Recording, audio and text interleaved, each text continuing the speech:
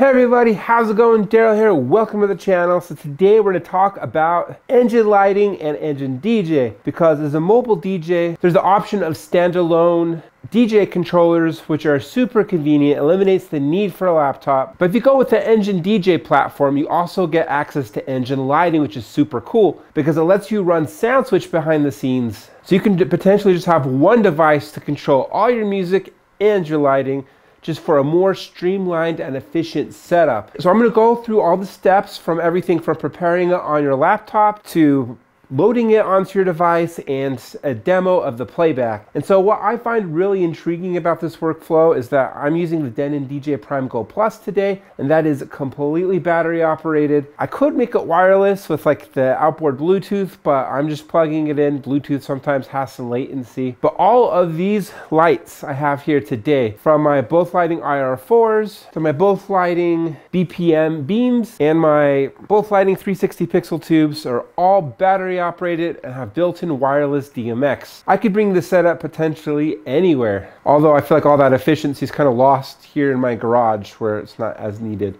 So without further ado, let's begin. All right, let's go over the gear a little bit. So I'm using the Denon DJ Prime Go Plus for my DJ controller. So this is a standalone controller. It could work with a laptop, but I'm just gonna use Engine DJ as well as engine lighting. If you wanna use engine lighting with this, it has to be in standalone mode you have to use SoundSwitch or whatever DMX software you want on your laptop if you use this with your favorite DJ software like Virtual DJ or Serato. This can operate plugged in, but I'm not going to. I'm just going to run off its battery power. So I have it set to mono and I have one plug plugged out to my main speaker. We're just going to use this JBL EON 1 Pro right here. And to connect the SoundSwitch, you have to have either the SoundSwitch dongle or a control one.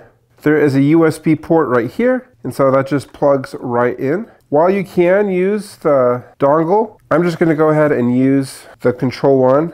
I use this USB type B to C for my MacBook, but I need an A to B. So plug it into one, ensure that it's switched to USB one, and then plug this back here. I'm gonna use this Chinle transmitter. This is compatible with all of the daughter receivers as well as all of the Chinese lighting fixtures that have built-in wireless DMX switchers, all of them for this demo. This is just a battery pack, but you could just plug this in. Considering this is like an all battery powered setup, I'm trying to make a point. Okay, let's plug it into Universe One. Just have my Insta360 to help me shoot this video. But yeah, that's pretty cool. That's a pretty minimalist workspace. See, I am plugging in my headphones as well. So really for the rest of this, I'm really not going to be messing around too much on my Control 1. One of the things I love about SoundSwitch is the plug and play functionality. When you look at the WOLFMIX demo, like their official trailer, there's a guy who's pushing a crap load of buttons on an interface like this. And, and I think that is like their ideal use case. They want to make it really easy for you to push a lot of buttons and make a lot of stuff happen. But as a DJ, I'm really not wanting to push a lot of buttons. I just kind of want it to be automated and just so we're mostly just gonna run auto loops, but for a couple of these songs, we'll do an auto script. We'll just auto script this one. We won't put too much thought into it. Yeah, it looks great. Save it, and we know which ones have a script because it has this symbol. So I took out the SD card, put it in my MacBook. So let's go ahead and export it. Let's include the lighting tracks. Let's export it to my SD card. It's taking a moment, that's okay. There we go. I have the Engine DJ software pulled up with my drive still inserted. So let's go ahead and put it in there. So I'm just gonna create stems for all these tracks. Rendering stems, five remaining. All right, it's taking its time, but it's rendering pretty nicely. Now I have to export it at the sync manager. All right, so we want it from this computer onto my drive. Export to drive. Export it. Let's take out the USB drive, plug it back in, turn it on. Okay, here's our source, and here are our tracks. This little symbol right here shows me that they have the stems. I can see all the tracks that I pre-prepared stems for right here. And so I use this gear icon right here, and then click on the lighting symbol. And here I can choose my new project. So Pro, no smart lights. Click on the flash drive, so click on the SD. Yes, that's okay click on the SD card. Then there's the SoundSwitch shortcut project. I select that, the default venue. And then, yeah, this looks familiar. Here's the auto loops. So this can be your own project. You don't have to get the SoundSwitch shortcut, the SoundSwitch shortcut is just a little template I've made. Works with a variety of lights. I'll have a link with more details down in the description below. But this is what I'm gonna be using to run my lighting today. Engine lighting has a pretty cool interface and I really like this. I wish that they had a standalone engine lighting device that just did engine lighting and it was touchscreen like this. You have all these manual overrides. So for these overrides to make sense, I'm gonna do something really quick. So I'm gonna go to static looks. So these are the static looks that we already pre-programmed into SoundSwitch. These are non-editable within engine lighting like they are within SoundSwitch. So you have to just have these already figured correctly. So let's do antique white. And there you go, all the lights are on. So in my particular case within the shortcut, I have all of these static scenes up here that are just like a solid color. And then if you want to override them, you have all of these colors as well. Looks like I forgot to turn this light on. So you have several position overrides. You have like movement overrides, so you can kind of see them moving a little bit. And I can adjust like the, the speed and the size. Can black everything out. You can strobe things, you can adjust the strobe rate. You can just turn on UV light, so it blackouts everything except the UV. And then the white which everything is basically already white, so it doesn't really add much drama. And what's cool too is that all of this functionality is right over here on the control one, like that white button I was telling you about, these color overrides, the strobe, and then you can also control like the speed of it.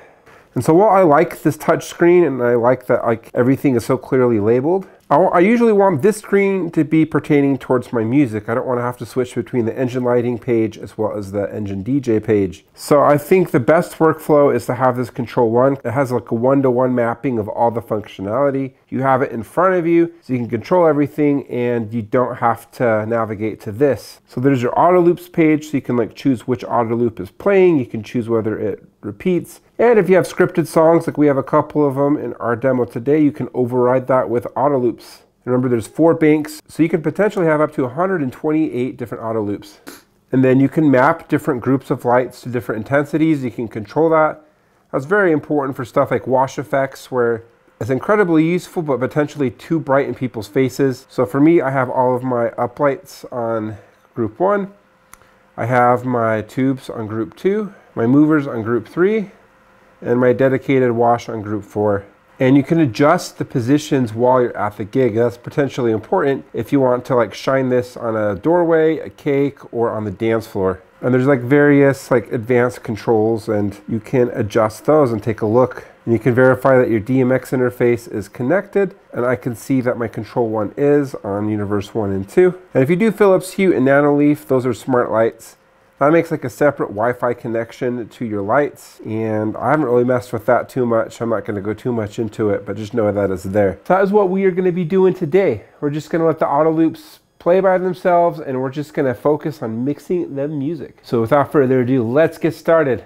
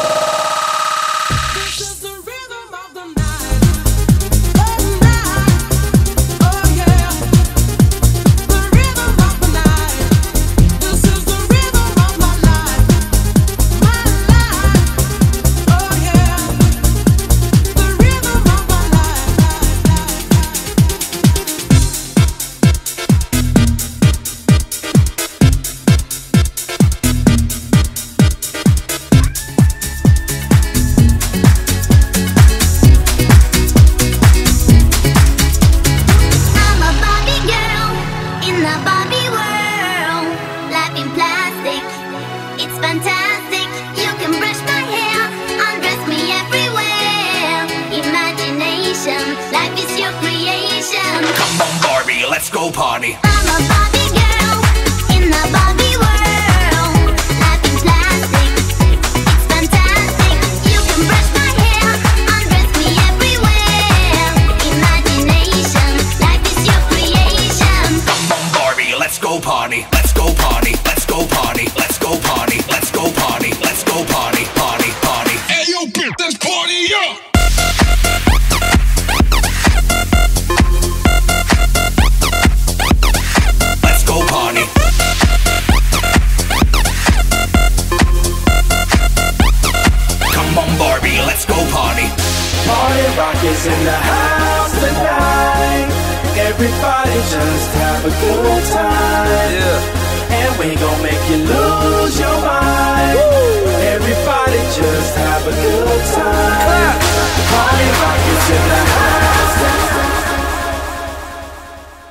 Well, that is my demo. I'm pretty pleased overall. While in theory, I like this workflow, I don't like having to prepare everything in advance on my laptop and then transfer it to my device. It feels kind of inflexible, opposed to a laptop where I can just like edit things and change things on the fly. But whatever the case, this was a lot of fun. Thank you for joining me. Well, thank you so much for watching this video. What are your thoughts on engine lighting or engine DJ? Let me know down in the comments below.